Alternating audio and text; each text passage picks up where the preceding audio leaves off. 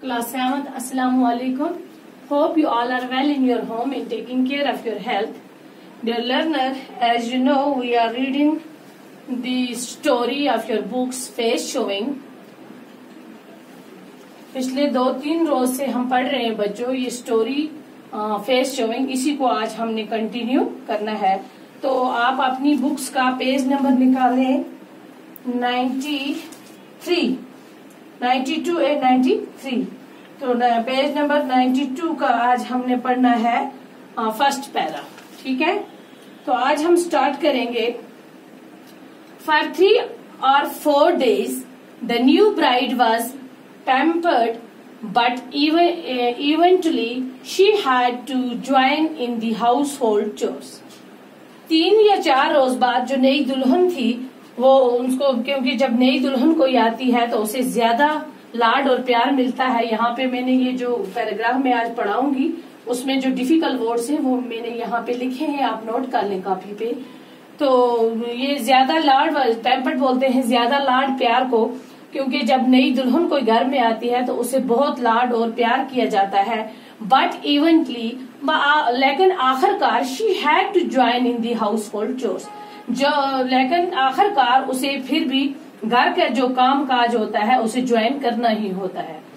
One day on brought her daughter in law along with her to fetch water एक दिन जो washer women थी washer women वो दोबन हाला जो थी, उसने अपनी बहू को अपने साथ लिया पानी लेने के लिए। वो अपने साथ अपनी बहू को लेकर आई।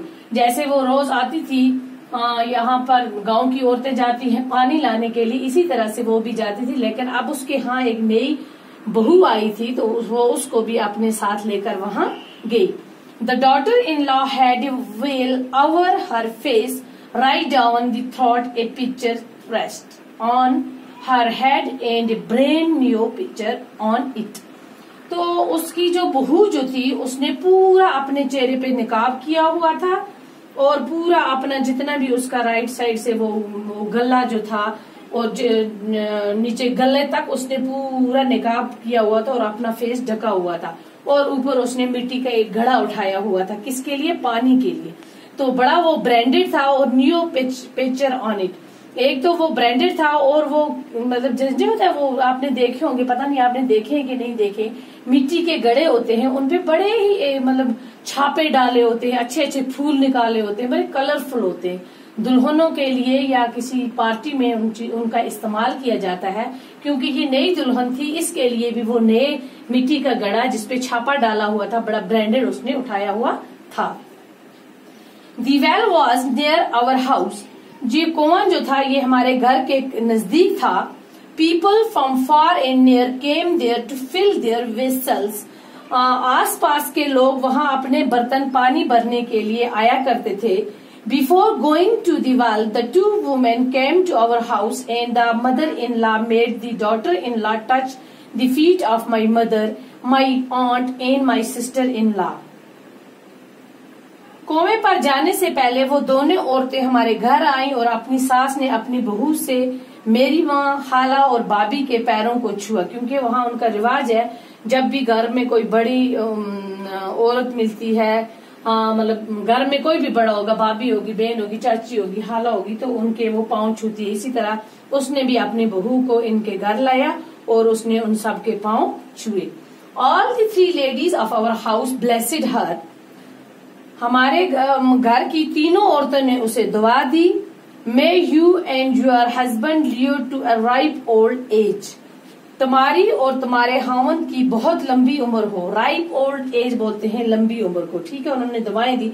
But after they fell they raise another ripple in our house लेकिन उसके चले जाने के बाद हमारे घर में एक दूसरा वबाल खड़ा हो गया। The bride has such a lovely chat वो जो दुल्हन थी, वो बहुत ही क्या थी खूबसूरत थी, अच्छी चाल वाली थी like that of a peacock dancing वो ऐसे चलती थी जैसे मोरनी के जैसी। वो क्या करती थी? चलती थी। Mother and aunt were were well meaning women who appreciated others and also condemned where condemnation was called for दुल्हन की चाल कितनी प्यारी है। मानो कि कोई मोर नाच रहा हो। माँ और खाला सीधी सादी औरतें थी जो दूसरों की तारीफ़ करती थी। और नुकता चीनी भी करती थी जहाँ नुकता चीनी की ज़रूरत होती थी। But my sister in law was young and did not like another being pressed peacocks a dug but she is so fair praising her like this would among to sang that seven is dancing मेरी लेकिन मेरी भाभी जो थी वो उसे पसंद उस, उसको ये चीज़ें पसंद नहीं थी क्योंकि वो दूसरों की तारीफ़ वो नहीं सुन सकती थी। मोर काले होते हैं लेकिन वो तो गोरी है। इस तरह उसकी तारीफ़ करने का मतलब ये कहना होगा कि एक हंस नाच रहा है क्योंकि उसे जब भी कोई चीज़ किसी के लिए तारीफ़ की जाती थी वो उसे बर्दाश्त नहीं होती थी। तो आज यहीं तक बच्चों कल इंशाल्लाह आपसे फिर मुलाकात होगी। तब तक के लिए